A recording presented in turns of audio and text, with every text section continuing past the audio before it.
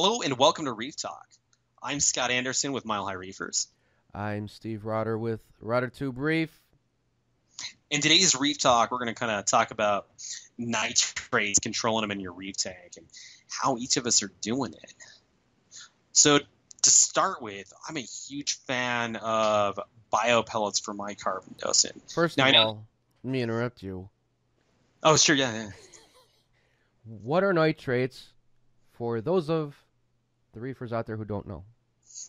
Okay, so basically nitrates are the organic buildup in your tank, right? So when your fish goes to the bathroom, we have that whole nitrogen cycle that happens, right? So your fish goes to the bathroom in the tank, or your food breaks down in your tank, and it produces a whole bunch of ammonia in your tank, which is absolutely lethal to your fish, which is why it's such a pain to quarantine sometimes because that breakdown can kill your fish. So it goes from ammonia, which is nasty, to nitrite, which is less nasty, to nitrate, which is the end of the nitrogen cycle, unless you get into the deep sand bed stuff where supposedly it goes down to nitrogen gas at the very end, right? So the idea is you take a poison and biologically change it to something that's only mildly bad for your tank. But over time, that kind of does build up, and there are kind of many ways to take care of this situation.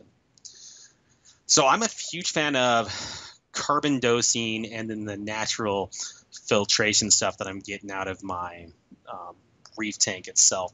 So right now I've got almost 200 pounds of live rock in my tank, and that's what's actually making the biological system happen. So that's what's changing the ammonia to nitrates, and so, then from there. Um, what does rock have to do with removing fish pee or ammonia? Good point. Yeah, and I, so basically what we're doing is we're going from Uh, we're growing a bunch of bacteria on there, right? So all these little rocks have bacteria growing on them, and then those bacteria are actually eating the ammonia and changing it to nitrites, and then there's more bacteria that are changing the nitrites to nitrogen. Now, in the live, in the really big pieces of live rock, and what are those little rocks that you've just got, Steve? It's got huge amounts of actual surface space that you put in your sump. Oh yeah, the marine pure Yep, and it should be the same thing going on in those mirror, oh, yeah. mirror blocks, where inside of those you're going to end up with anaerobic conditions, which theoretically are going to change your nitrates to nitrogen gas and complete the nitrogen cycle itself because it's a area of low oxygen where those bacteria live that can actually remove the nitrates. Right. And good question, and I'm going to just interject with this. The live rock, the more live rock you have, the more surface area you have, which means the more bacteria can live. Yep. And the more bacteria, the better. So it breaks down all that stuff. That, that's where we're at with this. So, what I chose to do after reading up on it is I purchased the Marine Pure. It's man made, it's got thousands and thousands of crevices, including microscopic crevices. It's only, what? four inches by eight inches by eight inches. It's just it's like a square, and it just sits in your sump, right? And it's not just the outer surface of it; it's what's inside. It's thousands of nooks and crannies. Whereas you won't have that much if you were to take a rock in your aquarium and cut yep. it in half. There, on the outside, the inside, and every layer, the square footage is insane. The amount of area that the uh, um, beneficial bacteria can populate. So that's what I did. In a recent video, I just spoke about. I did that for a couple of reasons. For one, way more beneficial bacteria. For two, I can remove some rock out of my aquarium, which allows the fish more swimming space. They like that more. And um, it's less areas for the detritus or fish crap to get trapped in, and then it'll decay and rot and then that's a problem, causing your nitrates to go higher. So anyway, I just wanted to interject that. I that... I've only had it for what two months, and they say around three months is when it fully yep. populates with the bacteria that you need. But they say if you get this marine pure, you really don't even have to do water changes, which I'm still doing a weekly water change. Um, It's supposed to be very good for your tank. So that's what that is. Go ahead. Now, with that, I know Bulk Reef actually did the mm. calculations on how much surface area was in that, and Marine Pure blew away the best live rock, even what Pukani, what they're calling the best, and by the calculations they did, was the best. It just was so much more, had so much more surface area. It was very impressive. Now, I didn't go that route. I have massive amounts of live rock, and it's not a problem in my tank. But for someone like Steve, that's a great idea because you don't have near the rock I do. Right. And for very good reasons. I mean, I just like a lot of rock, and there's actually some issues with my aquascaping the way I did it. It's more for looks than what's actually for the best for the tank. Yeah, and it looks phenomenal. It's really nice. Uh, you also have the height. Yep. That, that I don't for the tank.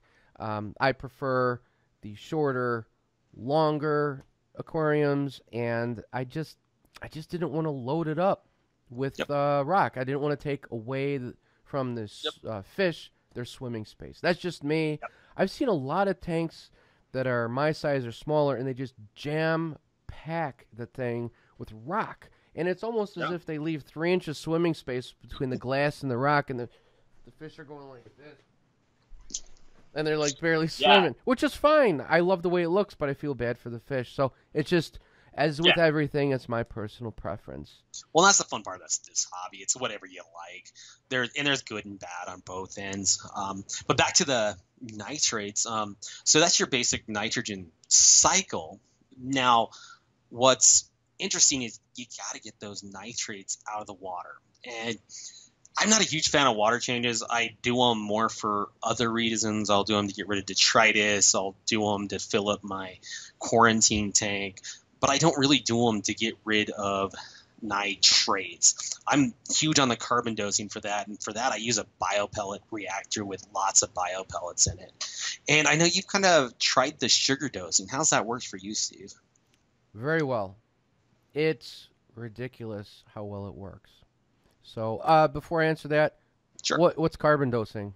So carbon dosing is basically you're putting um, a carbon source in the tank, right? In the course of, in the case of sugar, the sugar is the carbon source. In the case of biopellets, it's the biopellet itself that's the carbon source. Basically, it's a sugary plastic that bacteria lives on and um, eats, and then as the bacteria eats that, they are um, tumbled and then they are skimmed off by the skimmer, and that's what's creating the carbon source. Now, none of this stuff is set in stone as to why it works and how it works. So I'm not going to get too into that because, to be honest, I don't fully understand it. From what I'm hearing about from a lot of other people, it's not fully understood because people are seeing phenomenal results with um, carbon dosing who don't even have skimmers. So I can't even begin to explain how that would be working.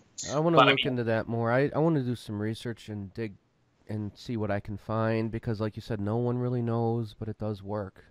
Yeah, and uh, and it, and it works with a lot of different products. I know you like the sugar dosing, but people use vodka, they'll use vinegar, basically any sugary product to work. I like the biopellets because they're just so easy. I got my DIY reactor and I have to service that thing every two or three months. It's just ridiculously easy. And my nitrates are always low. Well, that is the difference. I'm doing the same thing you are, but I'm not. I don't need a reactor. I don't need uh, a pump to run the thing. Yep. I don't need to buy the carbon pellets. Yep. Um, I'm just using table sugar, and it's sugar. It's exactly what Scott's using, but it's table sugar. Why not vodka? Well, because vodka's more expensive than sugar but vodka works really well. It's gonna, it's sugar based. Sugar is sugar, and pellets that Scott's using are their sugar as well. It's gonna work the same way. The only thing that I'm doing is they say to start really slow. Um, I do. My thing is, uh, I'm doing one teaspoon of sugar in the sump for every 60 gallons. So if you have a 125 gallon tank, I'm sorry, it's a half a teaspoon of sugar, okay? So I do one teaspoon of sugar for my whole tank every day. You want to start slow. Start with half a teaspoon every night for maybe a few days. After three or four days, do the full teaspoon. Now that's what I'm using. I would suggest starting slower than that, like a quarter teaspoon, and then move up to a half a teaspoon a day. So a quarter teaspoon for every 60 gallons. That's the rule. I double that, whatever. Um, my nitrates were pretty much out of control because I have a huge bio load. I think it was up to 60 or 70, uh, maybe, I don't know, seven or eight months ago. Within a week and a half's time, it was zero. Yeah, that's fantastic. Dead zero, and it stayed there. So something happened in the tank. Now, do I do the sugar dosing all the time? No. I only do it when I need to get those nitrates under control kind of quick. Now, Scott will do the uh, um, the pellets uh, all the time. They're always running in his in his tank. Yep. Now that's fine, but then some people say, "Well, you shouldn't use sugar, maybe because you know." Well, there's no you know because Scott's doing it every day. Yep. I what's it, the difference between that and using table sugar? But the, again, I'm only doing it to get those nitrates uh, under control and check. Now, the way yeah. I choose to um, maintain it is the good husbandry, eh, like Scott does. But I try not to use the sugar. What I do instead is I rinse my foam block in the sump every week when I do my weekly water change. I vacuum the sand deep um, every two weeks. I make sure that my um, sump sock is changed out every three days, but I'm not using those anymore. I'm using the rotor tube. Take the media out of there, and I replace it with a new media every three days. You want to make sure that your mechanical filtration is replaced or cleaned every three days. That's what I'm doing. And then when they're a little out of control, because I feed a little too much or something, I'll dose with sugar because you want to get that down to a manageable level, close to zero. So that's that's what I'm doing. Yeah, and you know you're right. The sugar's the cheapest, easiest way to go. Um, I went the biopellet reactor because it's just always on and you can't overdose with biopellets. I've got like a liter and a half of biopellets running in my reactor. It's ridiculous. And How long do those last? How long do those pellets last? Oh, they last a long time.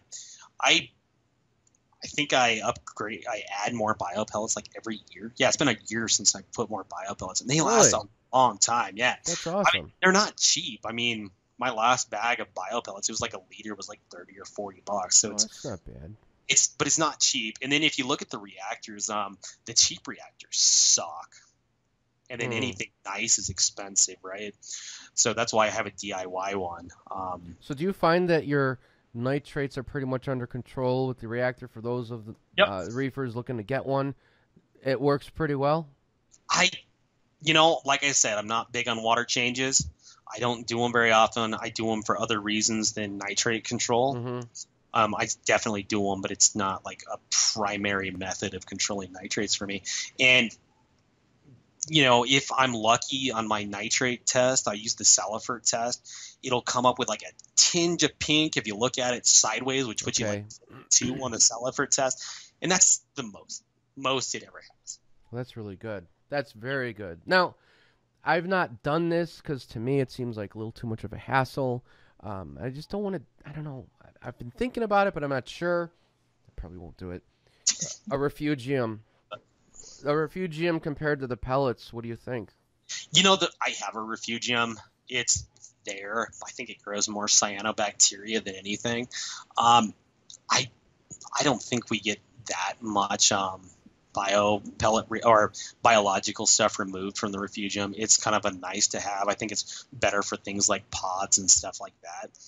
But I mean, if you don't have the space and you got a small, yeah. um, you get a small sump or something like that, really the refugium I don't think's worth it. I mean, especially when you look at what's underneath a lot of tanks, right? Yeah. You've, you've got like a one foot section that they're putting a refugium in, and I don't think that buys you much of anything. Right. To and be honest. Then you need the lighting, and a refugium, by the way, is